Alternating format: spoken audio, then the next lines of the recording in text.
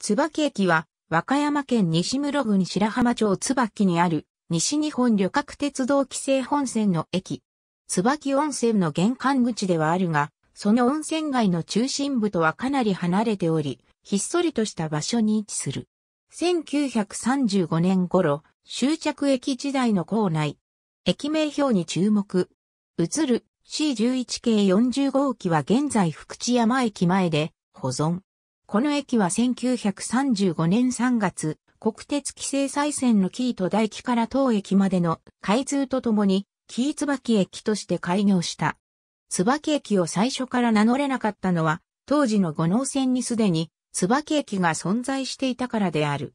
なお駅名は、五能線において1964年10月1日に、八森駅が東八森駅と解消され、同年11月1日に椿駅が八森駅に解消されたのを受け、1965年3月1日、椿駅へ解消となった。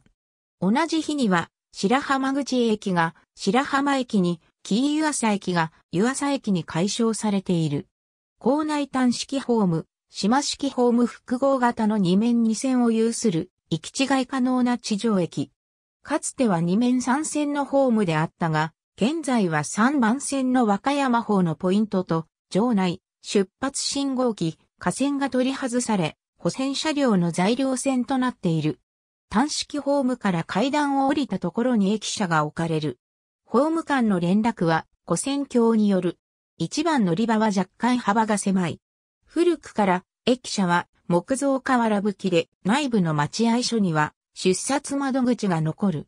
駅舎の椿駅の看板には、椿の花の絵が描かれており、駅舎の周りにも椿の木が植えられている。また、待合所には、山形県西沖玉郡飯出町にある、東日本旅客鉄道米坂線の宇前椿駅の写真が飾られている。2003年11月1日から無人駅となっているため、駅員はいない。それまでは、簡易委託駅であり、駅舎の中の出札口で切符を販売していた。2021年3月13日より愛コカが利用可能になる。国鉄時代には急行が停車し、当駅を奇襲点とする急行列車もあった。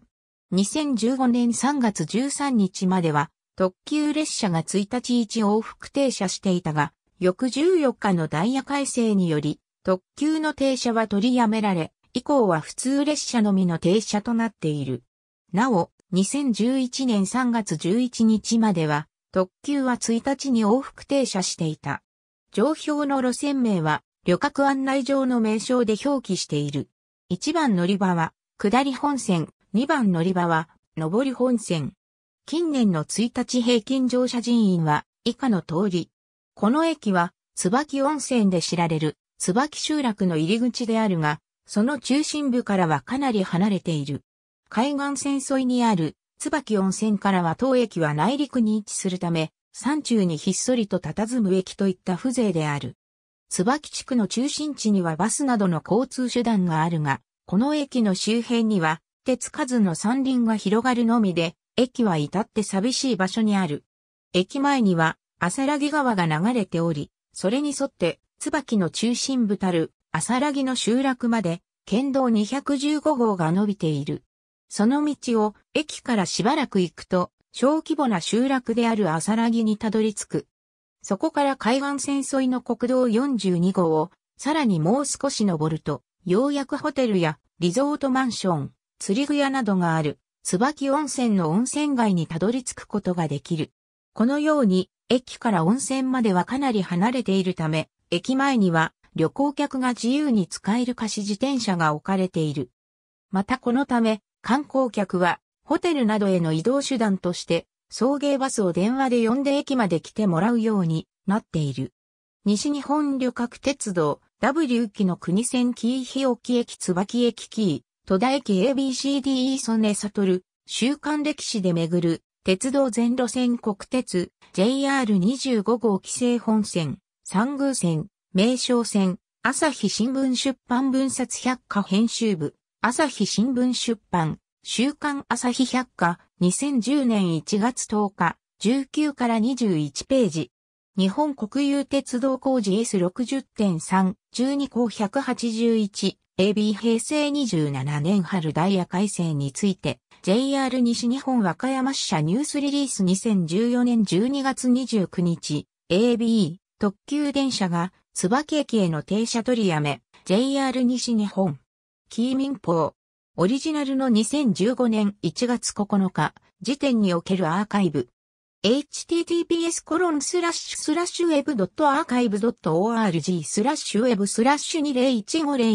20150109134350スラッシュ http コロンスラッシュスラッシュ www.agara.co.jp スラッシュ modules スラッシュ dailynews スラッシュ article .php ストリットイコール28万7035 2020年12月22日、閲覧。2021年春ダイヤ改正について、西日本旅客鉄道和歌山支社、オリジナルの2020年12月18日時点におけるアーカイブ、https コロンスラッシュスラッシュウェブドットアーカイブドット org スラッシュウェブスラッシュ